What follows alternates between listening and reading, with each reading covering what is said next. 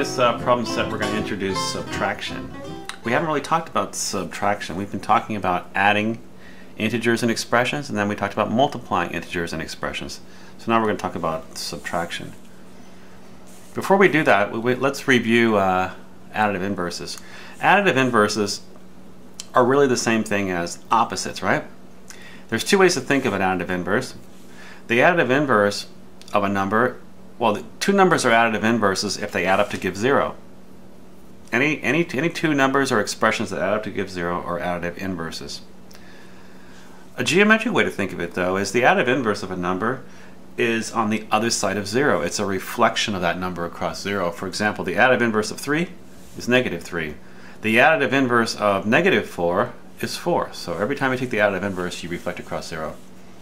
This has come up before. The additive inverse of a number is the same thing as multiplying the number by negative 1. In fact, you could think of the negative integers as just the additive inverses of the positive integers, right? The, the additive inverse of 3 is negative 3, and it, it, it can be obtained by simply multiplying 3 by negative 1. This has also come up before. What is the opposite of uh, the additive inverse of a number? The opposite of the additive inverse of a number, I'm trying really hard not to say negative because you don't know whether this is positive or negative. But anyway, the opposite of the additive inverse of a number is the, is the, is the number itself. And all that's saying is when you reflect the number across 0 once to get its opposite, and then you reflect it again, you get back to where you started. Okay? Now that last fact uh, can be used to uh, answer the question we were looking at last time. Why is the product of two negative numbers positive.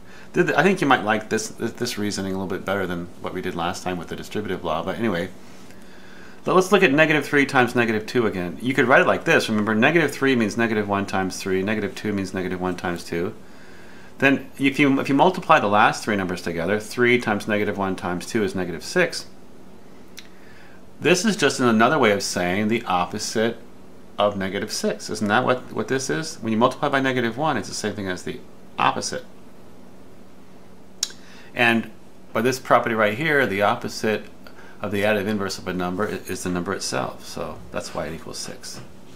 You're reflecting 6 across 0 twice. Every time you multiply by negative 1, you reflect across 0. I think that's a little easier to understand, isn't it? Okay, so here we go. Now we're going to introduce subtraction. I want you to see a pattern here. Uh, look at these two problems here. 5 plus negative 3, which equals 2 and 5 minus 3, which always also equals 2. Hmm, interesting. Let's look at another one. 7 plus negative 2, which equals 5, and 7 minus 2, which equals 5. Hmm. Whenever you add the opposite of a number, that's the same thing as subtracting the number, you see? And that's precisely how we define subtraction. When you subtract one number minus another, it's the same thing as adding the opposite of the second number. Okay? Subtracting a number is the same thing as adding the additive inverse or the opposite of that number. Now this is important. When is that, this, this is kind of confusing actually, when is the symbol a minus sign and when is it a negative sign or an opposite sign? Because we use the same symbol for both.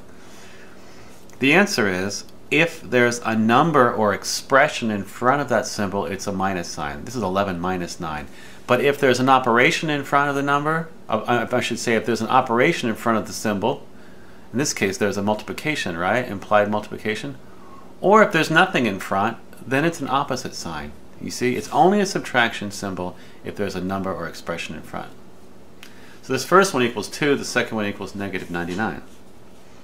Anyway, so what we're going to do here, this seems like a lot of writing. Uh, and eventually we'll abbreviate a little bit, but, but for now, I just want, it's really important to understand what the definitions are. Uh, right, learn the definitions really well, and then you can start using abbreviations. So all we're going to do here on the homework is just practice writing the subtraction symbol in additive form. Every time you see a subtraction, write it as plus the opposite. Okay? Okay, so when you see 5 minus 9, it becomes 5 plus negative 9. When you see um, negative 3 minus 11. Now that's not a, that's not a subtraction, but that is, right? This is just an opposite symbol. You replace the minus sign with plus and negative, you see? Think of the minus sign as being an abbreviation for plus the opposite. Okay, let's keep on going here.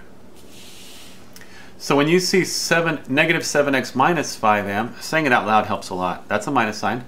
So I'm going to replace the minus sign with and negative. This minus sign becomes plus the opposite, right? They don't want us to simplify. We're just, we're just changing the form. Okay, this is where it gets a little tricky here. Look, this is 2 minus negative 9, right? This is a minus sign, this is not. This minus sign becomes plus a negative. This negative sign does not change. It stays there. You see, the, the negative sign is still there. But this minus sign becomes plus a negative. So that, that's what they want you to do. So the answer would be 2 plus the opposite of negative 9.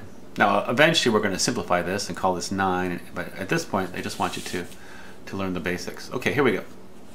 Read it back. Negative 12 minus 3 minus negative 7. So that's, that's not a minus sign, that is a minus sign, and that's a minus sign. This is going to stay the same, so is this, this symbol is going to stay the same. We replace this minus sign with plus a negative right here. This minus sign gets replaced with and negative, but this opposite sign in front of the 7 stays there. So that's what they want. One more.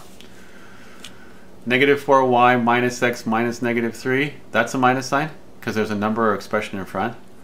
That's a minus sign because there's a number or expression in front. This is an opposite sign. It stays the same, so does this one. So when you change the minus sign to plus and negative, this minus sign becomes plus and negative. This minus sign becomes plus and negative. But this negative in front of the 3 stays there. Okay, so now we're going to go and finish the problem. Not only are we going to change to additive form, now we're going to actually simplify it, okay? Negative 9 minus 11, we changed to additive form. And this is exactly like what we were doing in problem set number uh, number three or four, right? So this is negative 20. 5x minus 13x becomes 5x plus negative 13x, which is just negative 8x. You see, once you change it to additive form, it's going to be exactly like what we've been talking about. So here we go. This is where it gets tricky. 13 minus negative 5, that minus sign becomes plus a negative. This stays the same. So this is our good first step. Leave, leave this as negative 5. Just change the minus sign. Now let, us get rid of the double negative, because the opposite of negative 5 is 5. And then let, let's combine, get 18. Here, same idea. This is negative 4s minus negative 5s. This minus sign becomes plus a negative, but, but the negative in 5s stays the same, and so does the negative 4s. Get rid of the double negative, and then add like terms, you get s. Okay, we'll, we'll do a couple more, and then we'll, I'll give you some to try. How about that? All right, here we go. 2 minus 5 minus negative 3. That's a minus sign, it changes to plus a negative. This is a minus sign, it changes to plus a negative. Then we get rid of the double negative on, on the 3, and now we just combine these and we get 6. Or 0, actually. We get 0. Last one. Try the... So this was 2y minus negative y minus y. That's a minus sign. That's a minus sign. This minus sign changes to plus a negative. This minus sign changes to plus a negative. This negative sign stays the same. Get rid of the double negative, and now when we add, we get 2y. Okay, okay why don't you try these problems? Um, be sure to change to additive form first, and then simplify. Okay, here we go. It seems like a lot of writing, but it's important to know what the definitions are uh, before you start using shortcuts. So let, let, us just let's just go ahead and show all the steps for a little while. Additive form, it becomes 17 plus negative 23. Final answer is uh, negative 6. See, I think you're less likely to make, make a mistake if you change to additive form.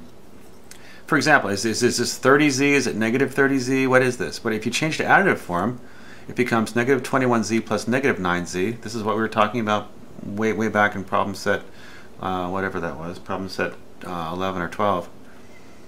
Actually, that was more like problem set 4.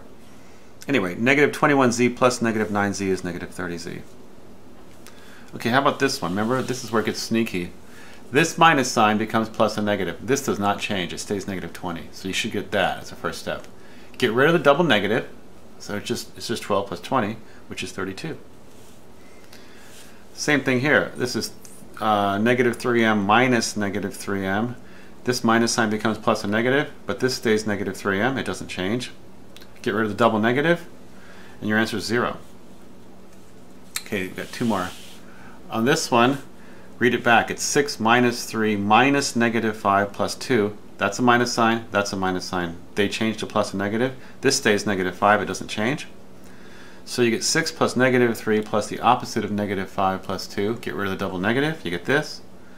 And when you add everything up, I get uh, 3 plus 7, which is 10. That's my final answer. Okay, this is a minus sign, that's a minus sign. This is a negative sign, it stays negative 9x, but this changes to plus and negative, and so does this. So that would be a good first step. And then get rid of the double negative on the 9x, and then when you combine everything, I think everything cancels, doesn't it? No, that's not right. Which, what should it be? What is the answer? Shouldn't it be 18x? 18x is your final answer, right?